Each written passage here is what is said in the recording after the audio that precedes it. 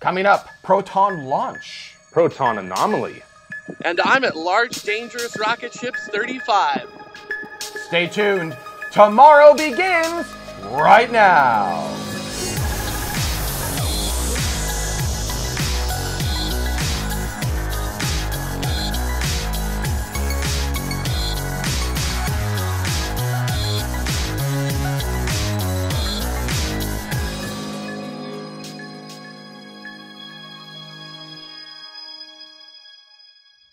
Welcome to tomorrow, episode 9.21 for Saturday, June 11th, 2016. My name is Benjamin Higginbotham. I'll be joined by Carrie Ann and Space Mike in just a moment, but before that happens, a huge shout out to all of the patrons of tomorrow who have helped to make this specific segment of this episode happen. These are the people who've contributed $10 or more to this episode. To find out how you can help crowdfund the shows of tomorrow, head on over to patreon.com slash TMRO. And we're only about $22 away from our next reward level, which is... Uh, uh, as of right now. And at uh, at thousand dollars per episode, we're going to open up our swag store, so you'll be able to buy like tomorrow shirts, tomorrow mugs, things like that. Uh, even the tomorrow pins that you guys are big. They're more like buttons than pins. They're almost communicators. They're almost Star Trek. They're actually kind of cool. You- There's a picture with Jared in them uh, from not that long ago. So uh, we'll make all of that available on our store. All right, let's go ahead and get started with some space news.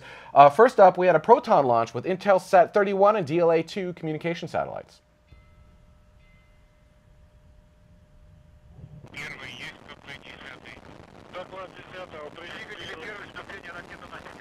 You don't get a countdown for that one. That was uh, Thursday, June 9th, right? It just kind of was like, And go. Thursday, June 9th at 0710 coordinated Universal Time. Like I said, that was Intelsat 31 and DLA 2, which are uh, ComSats. They're US based television broadcast uh, satellites for Intelsat and DirecTV.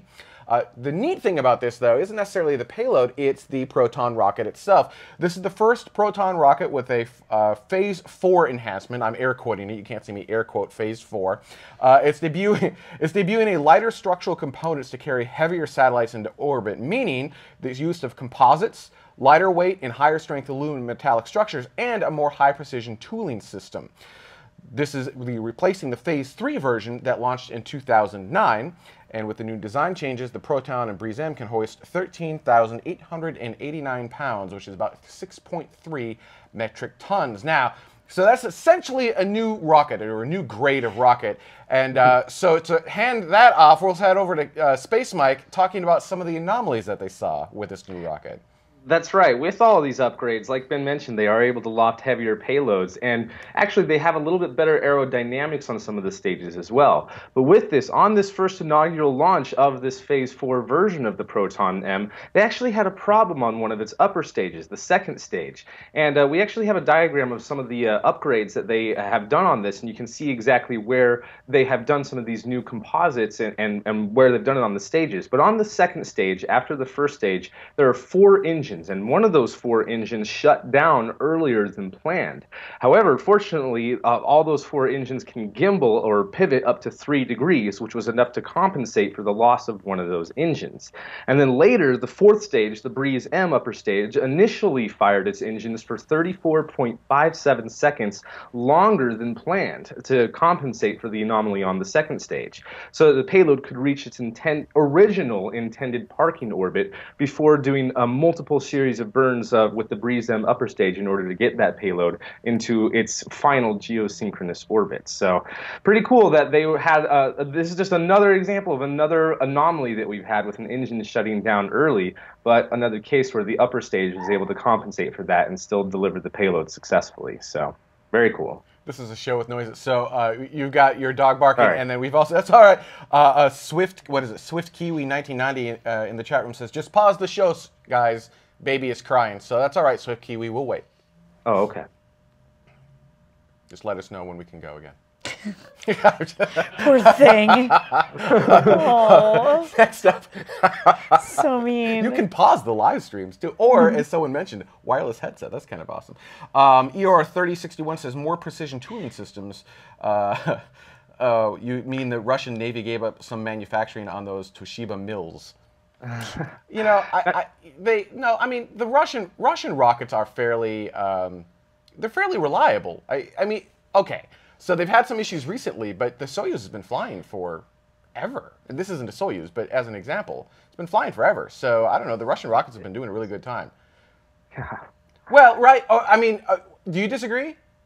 No, no, no, no. I completely agree. I was just saying, since the 1950s, the uh, the first uh, two stages of the Soyuz have been have been flying ever since then, and have haven't had a whole lot of changes uh, uh, over the years, and very reliable. And uh, and you know, just like you said, Proton has had quite a few problems recently over the years, but hopefully, with uh, a lot of these changes, they'll have the, a greater level of success. With this more pre- precision tooling, I was reading up on it, and the way that they were able to manufacture the second and third stages actually allow it to have a lower tolerance when it comes to stress levels. So they hopefully won't have any rapid, unplanned disassemblies uh, in future launches, and we'll be able to hold up to uh, a little bit tougher conditions. So that's pretty cool that they're they're able to do that with this. As Neuropilot said, the tooling's pretty good on the Russian side. The milling machines are very good. It's the QA that's kind of lacking. Well, eh, recently, right? I mean, uh, it, it seems like they're going through a, a shift, uh, a guard shift, so to speak, right? A change of guard. And uh, they just need to be brought up to speed. And once they're back, back up to speed, I, I think we'll start to see that uh, reliability come back into place. People are arguing, see, saying that the protons, proton rockets seem to have a yearly scheduled failure. so yeah, proton's not not as reliable as Soyuz, but yeah, I think they'll get there. They'll get there. All right, moving around. Oh, I, I hung here too long. Uh, moving along, uh, the Delta IV Heavy with the National Reconnaissance Office uh, payload. Here you go. We have main engine ignition, two, one, and liftoff. liftoff of the United Launch Alliance. Delta lumbers off the pad, it's not his carrying fault. The NROL I 37 know it's, it's a for the National gigantic vehicle. Reconnaissance Office. Lift off is just a little painful. It to well, it's, to. it's an all liquid rocket, so it's really really heavy, and it just it takes a while quite- for it to get off the lumbers, pad. It lumbers off the pad. It's beautiful. That happened Saturday, June 11th at fi- 1751 Coordinated Universal Time. As I said, that was the National Reconnaissance Office launch number 37 from Space Launch Complex 37, so 37, 37. This is the second launch of, for the NRO this year. It's also the second launch of the Delta this year. Uh, because it is an NRO payload, the details of that are actually classified. Having said that, we can use some deduction to figure out we think it is most likely an Orion Electric Signal Intelligence or ELINT satellite for uh, observing uh, maritime and like um, sea stuff, is my understanding on that one. All right, uh, so uh, It- also. I have to say though that because it's such a rare occasion that I've ever seen a Delta IV Heavy launch. I was, by the way, speaking of, I'm going to pause you. I'm sorry. I was there the first launch attempt. I was out in the rain in Florida, ready to see the Delta IV Heavy. I was getting drenched, and they, what was it, like a six hour window? So waiting for like seven hours for that thing to launch, and it was never. I know. And then I come home, I bring the rain with me, and then they launch. They launch today. So I'm sorry. Uh. No, but uh, I was just gonna say that I it, I don't can't remember the last time I ever saw one. Yeah. And so it looks fake. Oh, uh, why? Not fake, but it just doesn't look like a real thing. Like I've seen a shuttle launch, I know what a shuttle launch looks like. Mm-hmm. When I see a shuttle launch, not that I Is it this anymore. because it lumbers? So, because it moves so No, slowly? I, I think because the, there are other rockets that have. I, the- I, I don't see a rocket that looks like that. Okay. Does that make sense? So when I see other rockets launch, and I know basically kind of what they look like, Mm-hmm. and I know sort of what they should look like in the air and moving through the air, that that start- looks like a real thing. And the only other thing I've seen like that are graphics of other rockets that sort of look like that that are not real rockets. Well, So you know, there's that SpaceX conspiracy like group. I don't know what they're called. Is there a name for those guys? I, I don't know. Are you talking about flat earthers? Well, no, they're so they're they are all generally also flat earthers, but they're also the whole SpaceX has never been to space and has never landed a rocket and it's all a scam. Yeah, and, and none of none of it's yeah none of it's Yeah, I- I nothing don't- is ever launched into space. Yeah, yeah, I assume that's all part of flat earthers, but I, I thought they had another title for it. So maybe that's like part I'm of sorry. that I didn't. I didn't mean to. Yeah, I'm sorry. I didn't. I didn't mean to feed that fire. Uh, I just. It's just. I. I can't remember the last time I saw something like that, and so it. it it's so foreign to me. It's so it doesn't. Hmm. What about like an Ariane 5? It's got the boosters on the side. I mean, it tips in at the middle. But... I guess maybe that's why. I don't know. It I feel like with Ariane 5 launches, you can see like a lot of trees and stuff nearby that kind of give you a reference for scale. But something about those pads that United Launch Alliance and SpaceX uses, without actually being there, seeing like an aerial shot or, or a close up shot of that makes it look smaller than it actually is when it's actually much larger. And, and I know what you're saying, especially like with that footage of the launch there. It looks really tiny, like it could be like a model rocket or something. but it moves super slowly for being really tiny. yeah. Well, yeah, I think that's actually a common problem with all rockets. Is it's really hard to develop a sense of scale for these rockets. Mm-hmm. Uh, using the Falcon 9 as an example, I've had an opportunity to obviously see them horizontal and vertical. And in their horizontal mode, you're like, oh yeah, that's a pretty big rocket. But when they're vertical, that exact same rocket, you're like, that thing is huge. And I don't know what it is in the difference between horizontal and vertical, but your at least my brain processes it totally differently. and It's- so it's, uh, called portrait, Ben. yeah, I should just use my iPhone in portrait mode to grab uh, pictures of it. Uh, the the um, Is it, it's just it's interesting. I think the and issue is you have nothing. You have you can't relate it to anything. Like you, Yeah, there's maybe no that's- you have no context, especially Yeah. in Florida where it's all like you said, it's all flat. There's no terrain. There's nothing. There's no context for like, hey, here's a giant thing next to it. So, or, Even like in Baikonur, where it's also flat there, there's like uh, various buildings spread out all over the whole launch complex, and you know from particular shots you can get a really good idea for scale of how big the Soyuz are or the Protons are and stuff like that. So I, I don't think you really get a really great sense of scale until you see a human walking underneath one. And when you see this teeny tiny human standing what right, you know under the rocket bell, and you're like, oh, that is this. Oh, oh, right. So it's just that during launches there won't be humans walking underneath it Right. because you know fire. Can we just build Eiffel Towers next to all launch pads so that I have a good but you- idea? but you don't. But you don't. You don't have a. No, I know, I'm- I'm joking, reference. you need. obviously. Yeah. All right. So let's move along. Uh, so uh, Firefly sent out a tweet. Check this out. Firefly Space Systems sent out this single singular tweet. Says the first of 12 engines has been mounted and tested on our Aerospike Live ring. So we also grabbed just that image to give you a higher quality version of it. so Isn't that amazing. awesome? Yeah, absolutely. It looks absolutely incredible. Here's the thing though, that's not the whole engine. It looks like it would be, but it's not. Their engine actually looks more like this. It's a that's one of the outer rings that go around the outside. Oh. yeah, so oh. this is part of the FRE2 engine for the Firefly Alpha vehicle that's known as a plug cluster aerospike engine. It uses liquid oxygen and rocket propellant one, although they're working towards a liquid oxygen and methane engine. And what, what's going on here is uh, go back to the other image for me for a second. Uh, so those, all of those combined will make up the one rocket engine. And in a traditional rocket engine, you've got a skirt or a bell on the bottom, and that's where all of the fire goes through. And uh, that's kind of a necessary evil for rocket em- engines to kind of um, we'll we'll say shape the fire in such a way that you get the optimal thrust. The problem is as you um, as you ascend, and I'm done with that data. As you ascend through the atmosphere, um, the shape, like the the pressure outside the vehicle changes, and so you'll end up, you know, you have like perfectly optimized fire, and then as you watch any rocket engine uh, uh, lift off, as it gets through lower and lower pressure, you'll see the fire start to expand, and as it is expanding, you're actually losing efficiency, and then you stage the vehicle, they separate, and you get a, you know, a optimized engine again.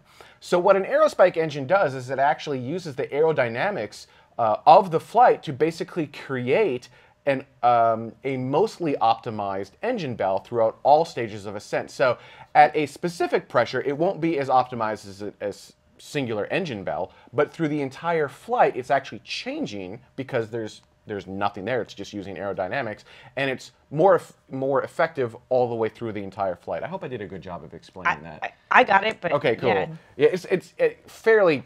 I'm trying to use terminology that anyone would understand. So that's what they're working on. And it's, to the best of my knowledge, no one has ever launched an aerospike. We've tested aerospike engines before, Mm-hmm. but I don't think everyone's ever actually flown an aerospike engine. So that could actually be pretty cool. So we'll, we'll see uh, we'll see how it goes. Uh, Firefly Aerospace Systems they're actually located in Cedar Park, Texas, which is middle-ish of the I almost said of the country of the state. Well, Texas thinks they're their own country sometimes. So, they were at one point, yeah. in the middle-ish of Texas. So uh, yeah. That's funny. there I like go. it though. That's really cool. Oh, no dying, Mike. All right, moving right along. Um, now let's talk Excuse about me. Red Dragon. Ah, excuse me. So NASA is exploring additional options for NASA, or excuse me, SpaceX's Red Dragon mission in 2018. Now, NASA back in April already announced that they would provide technical support to SpaceX. Excuse me. And in return, SpaceX would provide all of the data that they would get during entry, descent, and landing of the Dragon capsule as it's going through the Martian atmosphere and using its rockets to try to land safely. And there's two different offices within NASA that are looking at ways to further collaborate with SpaceX.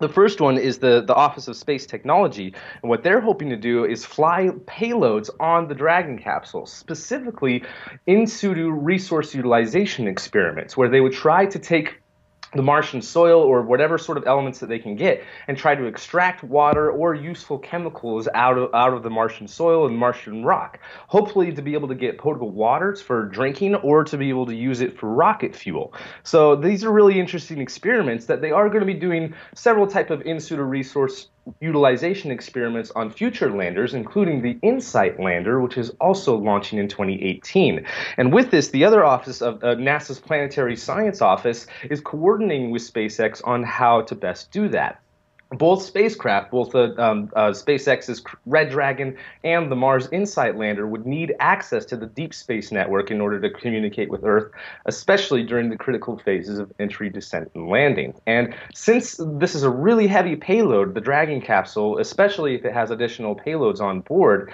NASA is very interested in the data that they would get from that, since they have their own plans of landing very large payloads onto the surface of Mars. So the more that they can collaborate, the better better. And in the future, it might even lead to contracts where they are even paying SpaceX to fly some of those payloads to Mars. So this uh, can only lead to more good things and is another example of further collaboration between NASA and SpaceX.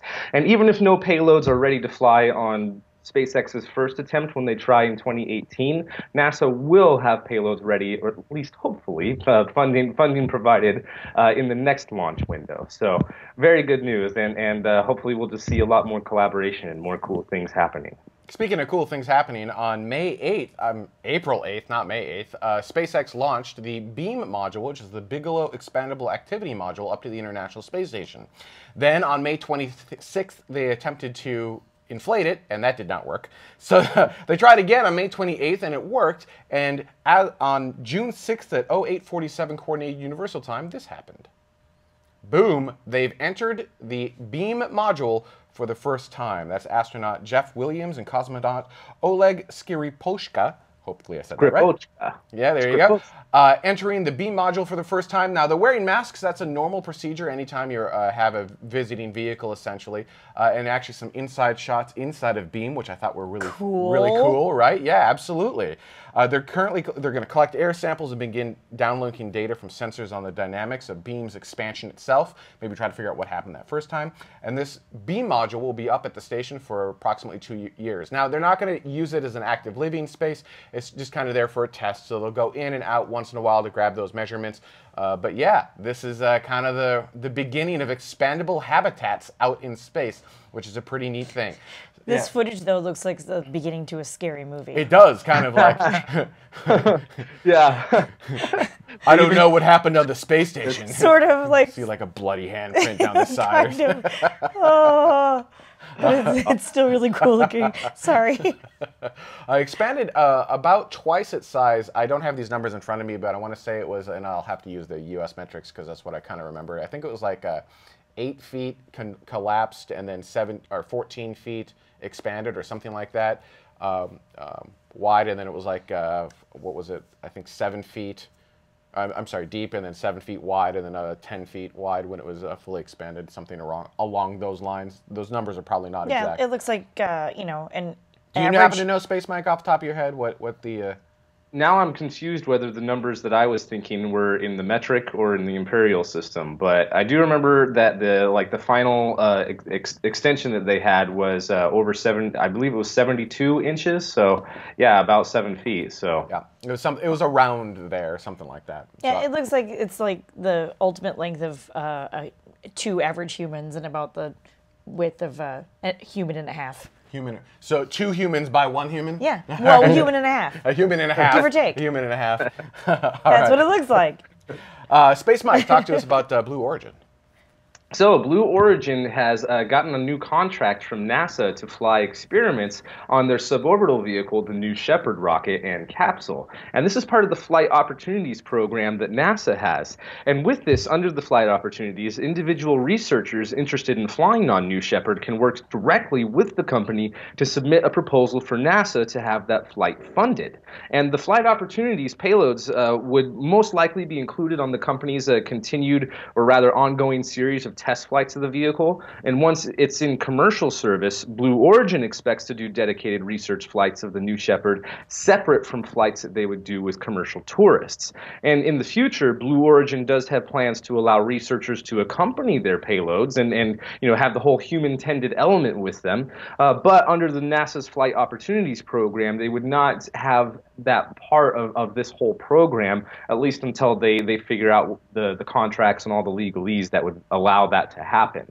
And they have talked about that back when Lori Garver was the uh, uh, deputy administrator of NASA, talked about that back in 2013 of, of having that. But at the time, they were still waiting on other vehicles. And, and uh, I don't think a whole lot of people were thinking about Blue Origin's vehicle as uh, um, potentially what might be the first vehicle to do some of these experiments on, and that's kind of looking like what the what the case might be. So, uh, once that happens, I'm sure NASA will take the steps that they need to in order to have that under the program. But still, good news, and lots of cool uh, experiments will be able to fly, especially ones that normally otherwise wouldn't have the funding to do so. So, very cool. All right, that's our space news for this week. We're going to take a quick break, and when we come back, we've got Jared at the Large Dangerous Rocket Ships 35. What would you call that? Expo launch event? What do you?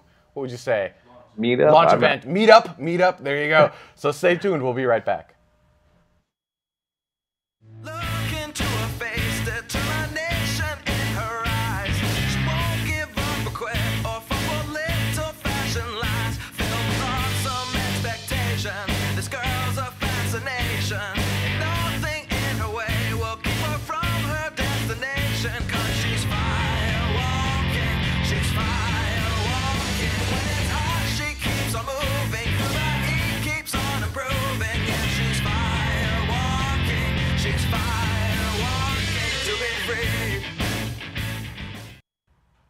And welcome back to Tomorrow. Now, before we head on over to uh, Jared at the Large Dangerous Rocket Ships 35, I'd like to give a huge shout out to all of the patrons of Tomorrow who've helped to make this specific segment of this episode happen.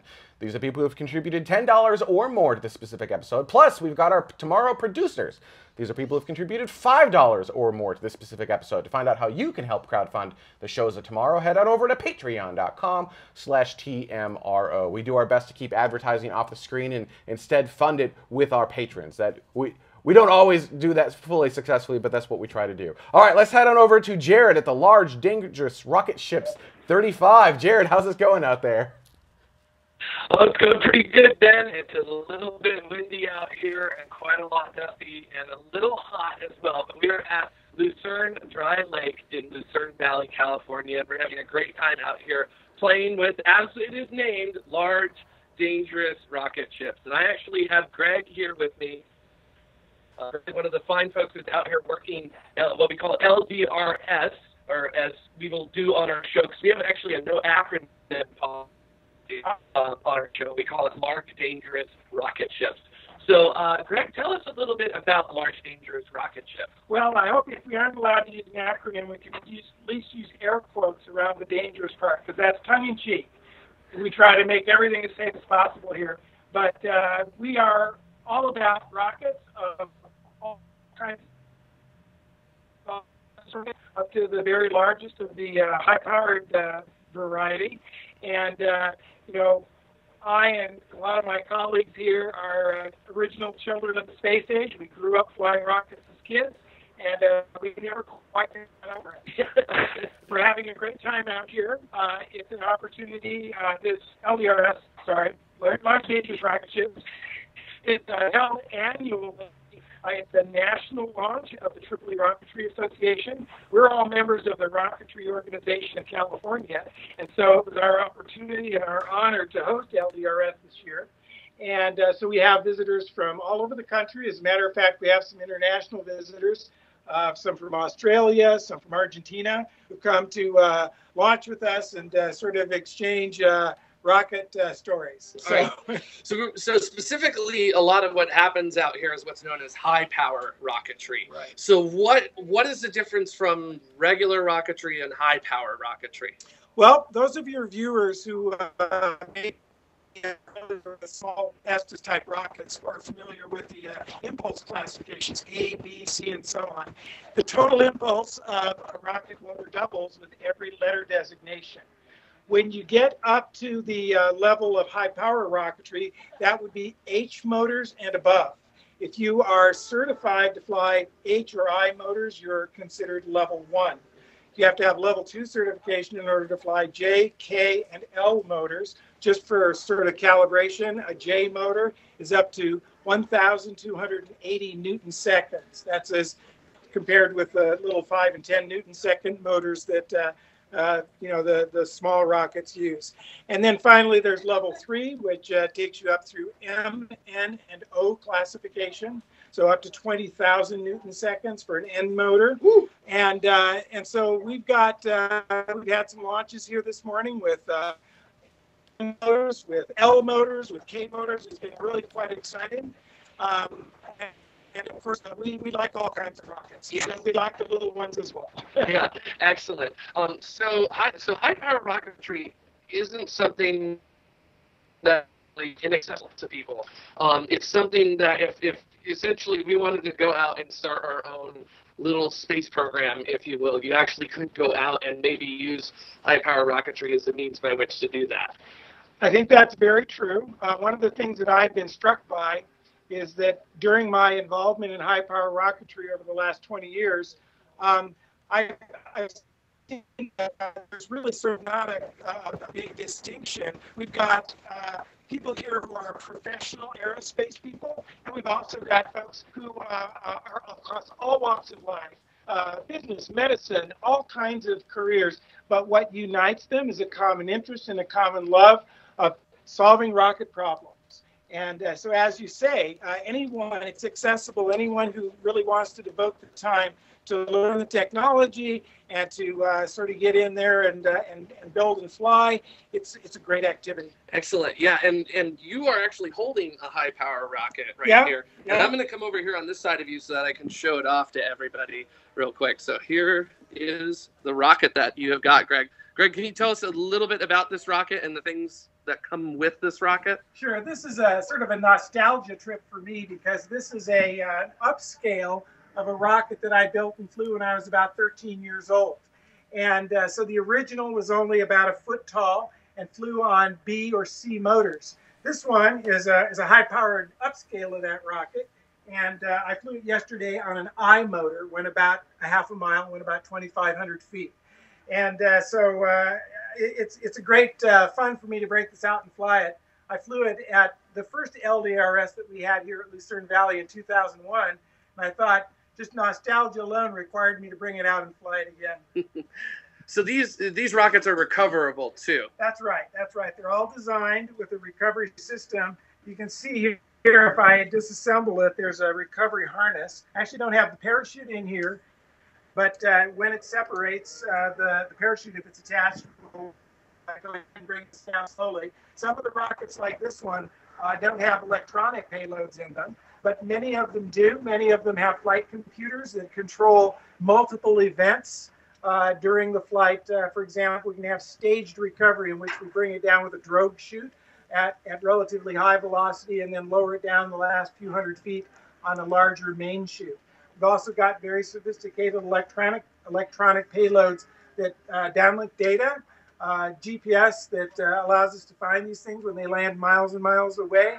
So there are lots of uh, openings and opportunities for people with uh, sort of technological uh, interests and uh, and applications. Excellent. All right. Well, thank you, Greg, for Okay. doing that. I'm actually going to call Rick on in now. All right. Um, Rick is another one of the people who is helping out here at LDRS, and we uh, going to talk a little bit because Rick, you come from uh, a organization called the Tripoli Rocketry As- Association, if I remember correctly. That's right. They're- Yes, and uh, they are different from the National Association of Rocketry, um, but they're also kind of the same. So there's two there's two big players in Hi, NAR.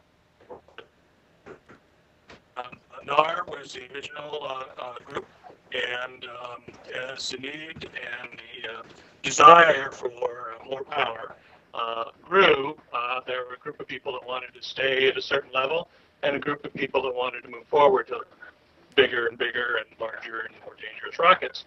And uh, so the Tripoli Rocketry Association grew out of that and codified and made uh, safety regulations for rockets that were more powerful than the smallest hobby rockets that uh, Benar was into uh, at the time. This is, you know, going back to the 60s. And uh, Lucerne Dry Lake, where we're at here, has been um, since since the 60s. In fact, several of our major players in hobby and commercial uh, space uh, motors. Uh, uh, here's Aerotech, uh, who provides a lot of our motors and has a, a business with uh, uh, aerospace companies for solid rocket uh, motors that go into space. Um, all started here, so they learned their craft. Um, and as they got bigger and bigger, the Tripoli Rocketry Association was created and codified and made safe and legal um, the the ways around the country to be able to fly these bigger rockets. And so the two associations kind of separated. And as time has gone on, um, it, it's been shown that this can be done safely and fun.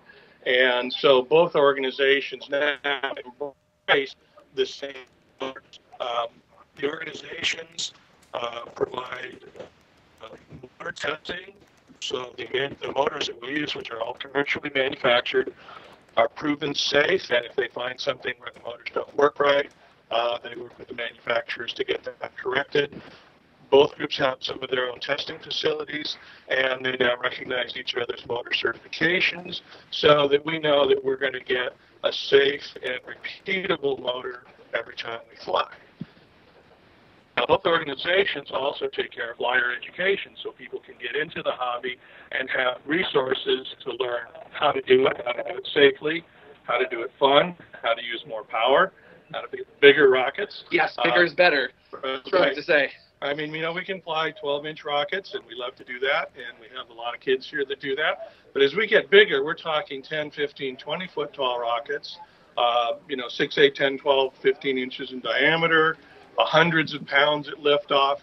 And here at Lucerne Dry Lake for this launch, uh, we're allowed call-in waivers with the FAA so we can clear the airspace and fly up to 19,000 feet. So this is some pretty heavy-duty stuff. And as motor classification, you need to know more about it. Uh, you can't use white glue and tape as you can in a tiny little Estes uh, rocket and expect it to hold up to an M motor, which is going to for about three and a half seconds. It'll rip it to shreds. Um, so uh, I'm the, the prefect of the club, are basically I'm the representative of Tripoli Rocketry Association, so I make sure that we follow all the rules, use all the Tripoli certified motors, and I certify high power flyers. So when you get into it, H and I are smaller motors and space. You show it to me, you fly it with a HRNI motor, and if it comes back in the appropriate number of pieces, um, I can certify you. You can you can then be allowed to buy your own HNI motors. As we go to J, K, and L, which are much more powerful and energetic motors, there is a 50 question test that tests your knowledge of motors, delays, uh, uh, chemical ejections, uh, electronics ejections, safety laws, uh, federal regulations pertaining to using these materials in a safe manner, and uh, it requires that you pass a 50 question test, and then you can do your flight. And again, uh, you need to bring it back in the appropriate number of pieces. Sometimes uh, these rockets come in two pieces, two parachutes, and things like that. And basically, the rocket has to come back and be flyable. It can be kinked or twisted or a little bit, but uh, if something didn't work right, the parachute didn't come out, the motor uh, didn't go right, um, you know, you'd have to. The bad news is you don't get certified. The good news is you get to do it again. Yeah. Right. Get it right. And we're here to provide the data to do that. As you go beyond that to the really big rockets, uh, we have a, uh, a technical assistance panel where um, already experienced level three flyers, which are going to do the MN and O motors, they work with you. And it's actually a project. You have to document it. You have to build the rocket. You have to show the aerodynamics, do the calculations, where your center pressure, center is it going to be stable? Is it going to go over Mach? With your electronics, what Mach issues do you have? And you work with your TAP representative, and you actually do a project with a report. And two TAP members have to sign off on that. And then you do your, and if it comes back in the appropriate number of pieces, you can buy the most powerful motors that you're allowed to use. Awesome. So it's a little bit of a complex process, but it's something that is done because it, you need to have that skill set in order to actually be able to do this. We've been able to build trust with all the regulatory agencies. We are self-regulating pocket. Okay? We write the rules in conjunction with the government officials, and they have seen that we have taken the lead in trying to work with them, get them educated as to how we can do this safely. And they um, have basically codified our rules into the national rules uh, so that uh, we can do this safely and make it simple for people to come out here and learn. All that stuff's done. You just have to learn about rockets. You have to just have to want to do rockets, and we can make it happen for you. Excellent. All right. Well, thank you, Rick. That was some fantastic. Uh, some fantastic insight into what actually goes in uh, with it. And John, if you want to come on, uh, just want to talk with you a little bit here since we're out here today, um, just enjoying this. So, um, what is what is one of the reasons why LDRS, or excuse me, Large Dangerous Rocket Ships, uh, is done out at Lucerne Dry Lake? Well, it's the for this particular launch. This is probably the best open area in Southern California, or actually the Western United States, for flying. Uh, we have fairly high waiver here. It uh, kind of clear in every direction. Yeah, it, that does help. We'll just show our viewers real quick. Uh, outside at the lake bed, you can see uh, nothing over there, nothing over there, and uh, nothing over there. Just a dust devil at the moment. So, yeah, it's a big open space. Yeah, it's just a big open with a lot of sky. All right. So, um, when you come here, what are some of the things that you should be expecting as a as a as a possible rocketeer uh, coming out to something like large dangerous rocket ships? Well, if if you're just getting started in the uh, the hobby, uh, you can expect just to wander around in awestruck of seeing things as the size that uh, that they are. I'm a what's called a born again rocketeer. I flew as a kid, you know, the little Estes ones, Mhm. and then I, of course high school and stuff got in the way, and uh, and then uh, I got back into it by walking through a hobby store and picking up a magazine and seeing these huge things. And then I discovered that there was a, uh club that flew out here called the Rocketry Organization of California. Immediately came out here and joined, and the rest is history. It Yeah. was 18 years ago. Nice. So, uh, do we have any launches set that may be happening in the next couple of minutes? Well, we're kind of hoping to. We got a little bit of a breeze problem at the moment, so Mhm. we're waiting for that to kind of settle down. There's some rockets out on the pad you can see Mhm. pretty far out on the other side of the range control. Quite a bit. But uh, and we're hoping to, to get back to flying here in a few minutes. This this, uh, this came up a little bit unexpectedly today. It has been coming up in, later on in the afternoon, but Yeah. it, it changed around. Yeah, it just kind of comes as it is. So what, what to expect is for this particular launch at this time of year, a lot of heat. yes. As you may have discovered. yes, lots of bring lots of water. uh, Lots of water, you bet. Uh, lots of water, but lots of big rockets and a lot of friendly people. Yeah, and uh, just just to sort of summarize it, to get involved with uh, with space exploration, because that's kind of what our show's all about. It's all about getting people excited to get involved in space flight. How do you think high power rocketry can contribute that to them?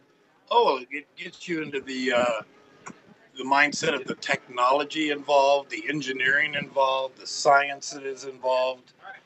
Uh, we have people that uh, that do are you know into, into the professional space flight, JPL and and the Jet Propulsion Laboratory. Sorry about that.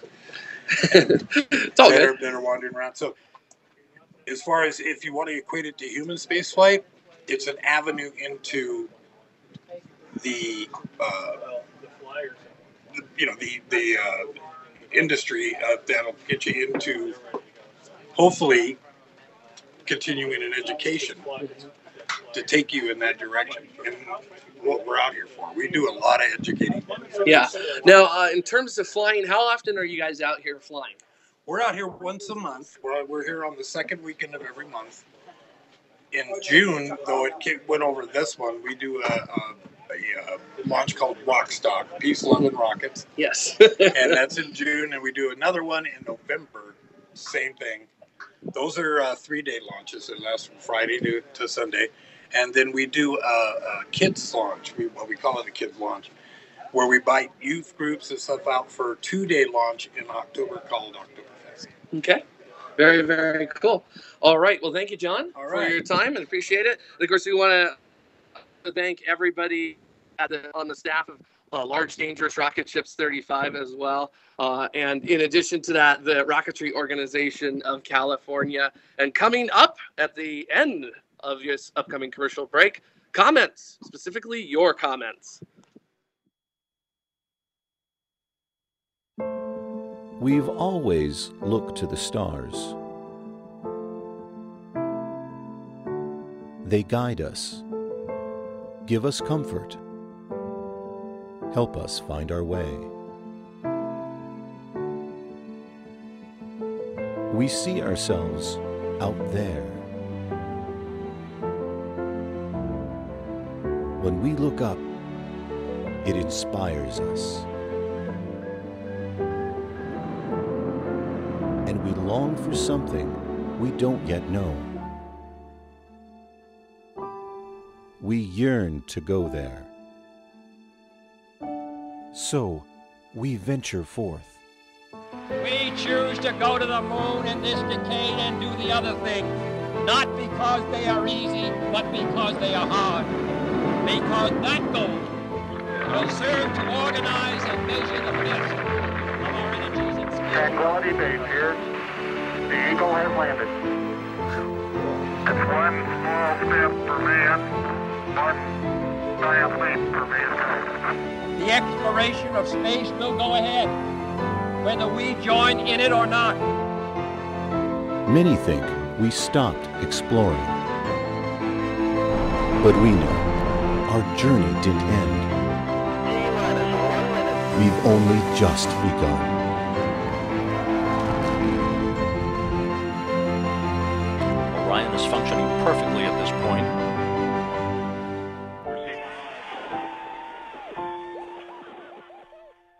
With us and explore tomorrow.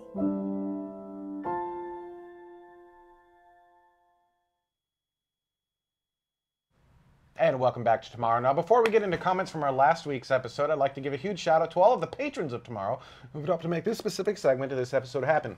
These are the people who've contributed $10 or more to this specific episode. We've also got our Patreon producers who've contributed $5 or more to this specific episode.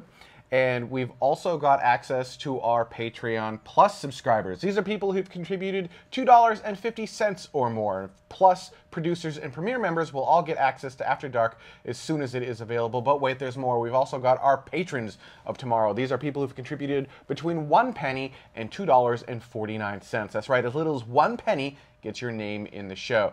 If you'd like more information on how you can help crowdfund the shows tomorrow, head on over to patreon.com slash TMRO. Speaking of comments, there was a good comment from Citizen22832 in the chat room who said, bandwidth was not so good, and it was not, and I'm sorry, internet, for uh, the uh, not so great bandwidth, but the hat width was perfect.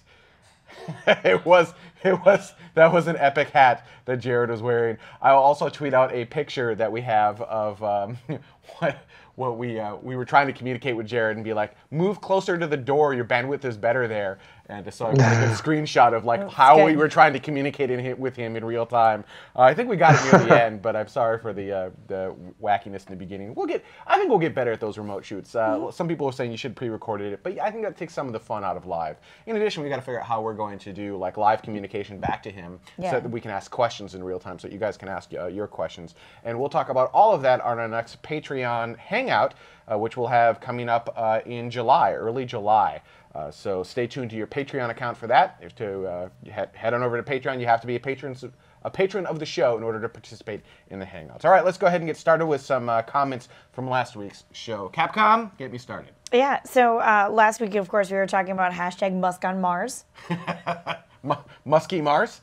it's a great hashtag. And uh, our first comment comes off of YouTube. This one comes from Shamish. At least I'm going to pretend that's the way you pronounce that. Uh, it says, quote unquote, Elon time. He's simply using his native Martian calendar. Conversion ratio one Elon year equals 1.8 Earth years. the thing is, that actually works. It really, it does. If you go back, a lot of that timing works out. If you were to go, oh, well, it's supposed to launch, you know, the next two years, that ends up being almost four years.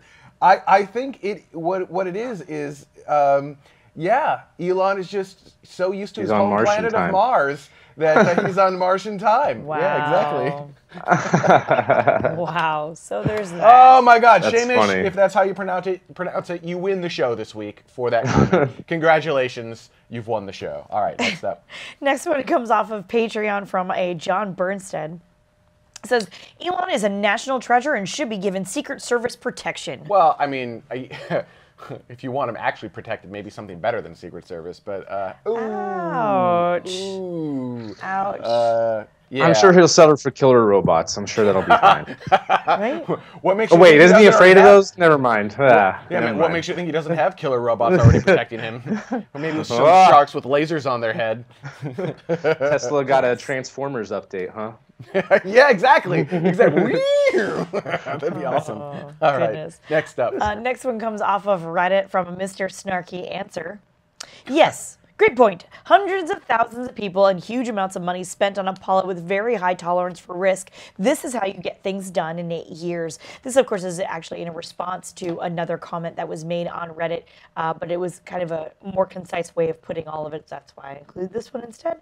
Um, because uh, people were questioning like if SpaceX can actually get to Mars in eight years, uh, but and everyone of course always points back to Apollo. So a little bit different uh, circumstances going on there. different but the same, but different but the same, but Right. different, right? So I mean, yeah, obviously the destination's different, and it's actually quite a bit harder than the moon. But um, you know, uh, we're starting with a lot larger base of information and technological prowess than we had um, with the moon, right? I mean, consider the computers that had to go to the moon versus what you have in your iPhone now. Mhm. So, right? I, I- so w- what we're able to do is just vastly superior to what, what we could do in the 60s and 70s. So um, yeah, but it doesn't doesn't mean it's any less hard. Right. But uh, we just ha- I, I think ultimately it's, we just have to have the will to go. We have to decide that this is a thing that is important to us and we're going to go. Uh, and clearly Elon has made that decision. And the the question is, does he have enough people behind him that have made that decision with him to enable him to do that? Hmm. Yeah. All right. All right, next up. Uh, next one. By the way, that should have been Mr. Snarky question as opposed to Mr. Snarky. I, I didn't choose the name, man. Mr. Snarky Answer. There you go. Uh, this next one comes also off of Reddit from Streetwind saying, I don't believe that the schedule Elon Musk presented is overly realistic, but on the other hand, I think it's useful to present that schedule. If the rule of thumb is in project management says the early project is delayed from its original target, then the worst thing you can do is set the original target back really far, you know? Might as well target something a little less far out and then work with whatever delays inevitably surface. Uh, yeah. The problem is if you end up delaying like forever, you end up with, and I'm sorry, I'm sorry because I love the company. You end up with a Virgin Galactic scenario, where, where it's then it just becomes the butt of a joke essentially. You know, oh, you're just Yeah. six months away. So uh, now I, they will fly, and, and you know, I, I, you know, they're certainly not a joke. Um, but you, you just you don't want to have that ever sliding timeline. That's a bad thing. Yeah, I, I- well, yeah, but I think the point that this person was trying to make is is that yeah, you don't, but at the same time, and we've talked about that before, is that it's hard for humans to really grasp, you know, the concept of oh, this will be done in the next thirty years. Like that's that's too. It's too far out. It's too Well, yes, that's true, Right, too. like you want to have an end goal. You want to see that light at the end of the tunnel, and about ten years is a good sort of That's about the maximum, I think. Right. The maximum is, is about one decade. You can't. People have a hard time thinking beyond that, and even that, whether or really not it's realistic it. or not. I guess is my but point. but if it's not, so even Swift Kiwi 1990 says, Yeah. does that mean Virgin Galactic is in Pluto years, right? Because that's Right. what ends up uh-huh. happening. Which, by the way, funny comment. Uh, but that's what ends up happening is if you can't make those timelines consistently. Yeah. So y- you, I guess you're allowed to miss them once in a while, but you can't Sure. be consistently missing them by years and years and years. That's not to say that um, SpaceX hasn't done that either, right? They've done that. It's just this is this seems to be a bad habit that the industry is in, and Yeah. I don't actually know how to fix it because it's it's this this stuff's hard. I feel like something too that is kind of the beauty of this situation is unlike some sort of uh, self-imposed goal for when they might have something operational, like in the case of Virgin Galactic, in the case of SpaceX, their goal is to get to Mars during launch windows. And so if they don't make one goal, then they have two years to make it. And if they consistently miss, you know, two or three launch windows in a row, then yeah, people probably wouldn't have any confidence in that anymore. But if they miss one launch window, it's okay. They have two extra years to get whatever system that they were working on that just wasn't quite ready to, to fine tune that and tweak everything to the point where Yeah. it would be, you know, they would have even more confidence in it in the next launch window. So that repeatable launch window kind of helps like set the tone of of when it might happen, I guess. It's also a little bit different and, and closer to Apollo in that what they'll do, uh, as Elon has said, he wants to create a um, how did he word it in the conference? A uh, like a, a constant stream every launch window. SpaceX is going to Mars. Like- he had a term for it. I don't remember what it was. Um, but basically, you know, every two years they're going to Mars. Well, even if they don't send humans, if every two years SpaceX is going to Mars, it keeps you on the radar, right? So it's like, okay, well, they can at least get there, Right. you know, and, and maybe at first, almost like a cargo service. a or car, there you go. I think that's what he referred. Did he refer to as a cargo service? Uh, I don't remember what he called it in the uh, in the in the conference, um, and I, I don't want to put words in his mouth. But um, I can't remember either. Yeah, he, he had a specific term for it. and I don't remember what it was. But basically, um, the, the idea that you know every two years they'll start going to Mars, and, and scientists can start counting on SpaceX going to Mars every two years, every time the window opens, really. Uh, and then you know they'll just keep doing bigger and bigger things each Mhm. time, much like Mercury, Gemini, Apollo, where it was a bigger, bigger, bigger thing, and you saw this iterative stepping process throughout the ten years, as opposed to Yeah. you see nothing, nothing, nothing, nothing, nothing, nothing. Okay, now we're going to Mars. Right. So it's, it's a very different thing. You know what I mean? Mm -hmm. Yeah. All right. Uh, so this next comment comes off of our tomorrow site uh, from SideRight. Uh, this is actually a much longer comment. We cut down a little bit and, and kind of took some pieces right out of the middle. But uh, yeah, this is just a piece in the middle, and it was like three times this long. Anyway, uh, says Musk was very insistent on the 26 month periodic windows, and I can see why he would plan to send a test flight then, lest he waste a very valuable window. To me, it's more interesting that he's definitely setting up a bi yearly trips to Mars, whether with cargo or humans, as a regular service. Suddenly, Mars One doesn't seem so hopeless anymore. But why would you go Mars One if SpaceX is creating a round trip service? Well, I mean, maybe he's even saying, or she, I suppose, is saying uh, that uh, the Mars One concept is not as crazy pants or as you know hopeless anymore. The concept itself is. Okay. Next up. I thought it was interesting. Fine. Uh, next one comes off of YouTube. Fine. Fine. Uh, from uh, Sean uh, Sabr- Sabr- Sabr- all right, internet. How do you pronounce Spragia? that? Sabragia? Spragia. Spragia. Sprig.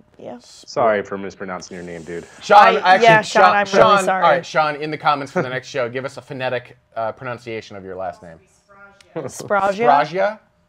All right. Anyhow, We're yeah. gonna go with that. Uh, says uh, biggest issue to me about a Mars mission is landing all the separate pieces at the exact same place on Mars. I don't know that you need to do that. Uh, so, for a couple of things with that. First, uh, SpaceX has consistently been able to land their rocket on the drone ship, right? Which is pinpointing a landing uh, on the planet on Earth already.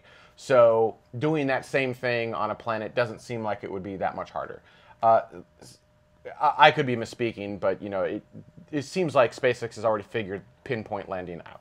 Uh, even so, it doesn't have to all be in the exact same place. It has to be within a reasonable distance of the location in which you are at, right? So you have to have it close enough where you can get to it, but not on top of your camp.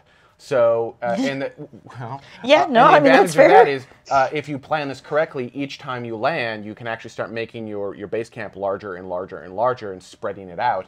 And then the first settlers will probably have to end up building uh, systems in between these different landing uh, zones, landing sites, whatever it is, uh, to be able to move back and forth whatever is landed, and then hopefully use that landing area, whatever is left over from the landing area, because some of it's probably going to lift off again for.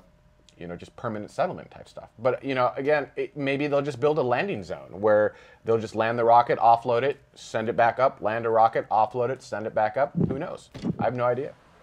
I truly have no idea, right? So don't be quote me on that. I have no idea. Right? There are two. Those are two completely different ways to go about essentially the same. What do you think they'll do, Mike?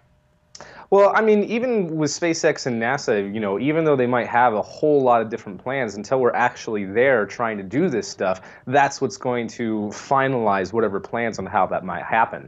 And I mean, as long as you can get into orbit around Mars and have enough fuel to, you know, change your inclination as you need to, you know, even if you, you know, miss it the first time, you just need to wait another orbit until you're in the right position in order to deorbit and have that pinpoint landing. So as long as you have fuel and you're in orbit, you can do pinpoint landings pretty easily. If you, especially if you already have a signal, a very strong signal of where your base is. So they could do a lot of stuff like that. And I think that in the beginning they'll land things, you know, close by to each other to assemble the different pieces of a base. But I think depending on the type of vehicles, like with uh, with humans, especially with whatever vehicle might be able to, you know, uh, descend safely and get back into orbit safely, that probably would have some type of landing zone and and uh, uh, kind of like a like a customs almost offloading center where people would first get acclimated and everything like that. So, um, but again, until we're actually there doing this stuff, we're not going to know exactly for sure what we're going to need to do in order to have some of these ideas uh, become realities. That's fair. We don't know. It's it's too early in the process still. Uh, Good mhm. comment. Even the experts. Yeah, yeah, Yeah. Good comment from the chat room. Kay McCoy says we landed Apollo mission within walking distance of another spacecraft in 1970.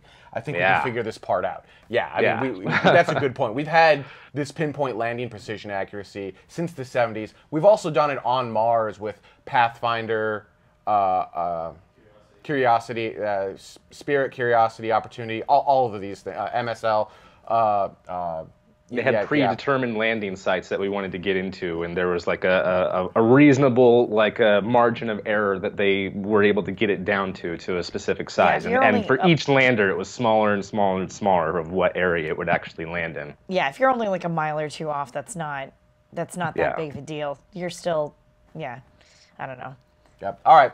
That's our show for this week. There is actually one more comment that we're going to get to in After Dark, which we're not going to do on our main show due to language, but it is hilarious. And so we're going to cover that uh, up next. For those of you watching live, After Dark is up next. If you're a Patreon Plus subscriber or above, it'll be available as soon as we post it online. For everyone else, it'll be available in about four weeks. Uh, thank you so much for watching. We'll see you next week.